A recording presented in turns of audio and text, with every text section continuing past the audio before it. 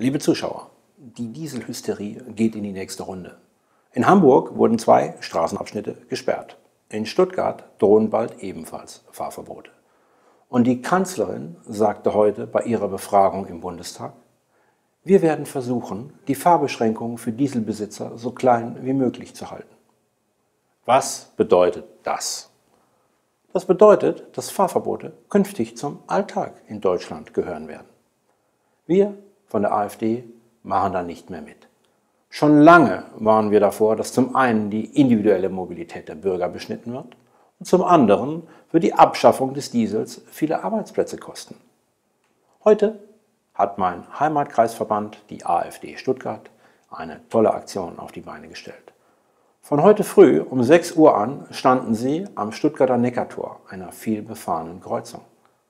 Dort steht eine umstrittene Messstation, auf deren Werten mögliche Fahrverbote beruhen. Mitten im Stuttgarter Berufsverkehr haben wir mit großen Plakaten darauf aufmerksam gemacht. Unsere Mitglieder haben einen Dieselflyer verteilt und viele positive Rückmeldungen der Pendler und Bürger erhalten. Die Verurteilung des Diesels sowie Fahrverbote haben wir der Bundesregierung zu verdanken.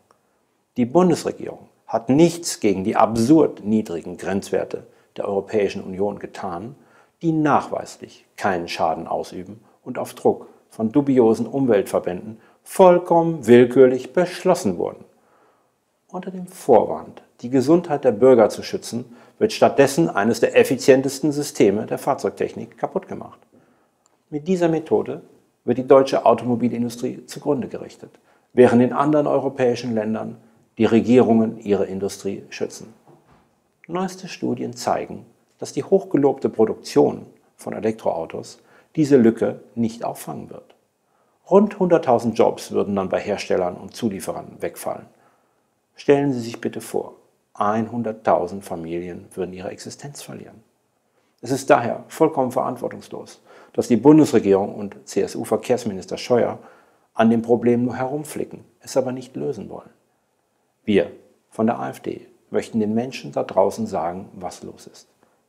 Machen Sie mit und erzählen Sie Ihren Nachbarn und Freunden von dem Dieselirrsinn und den abstrusen Grenzwerten. Wir dürfen uns nicht von Ideologen sagen lassen, was zu tun ist. Wir müssen stattdessen unsere Wirtschaftskraft erhalten und auch verteidigen. Das steht nicht im Widerspruch zu sauberer Luft. Wir werden die Fakten aufbereiten und Ihnen zur Verfügung stellen. Bilden sich dann Ihre eigene Meinung. Wir sind an Ihrer Seite wenn Sie eine ideologiefreie Verkehrspolitik wollen. Vielen Dank.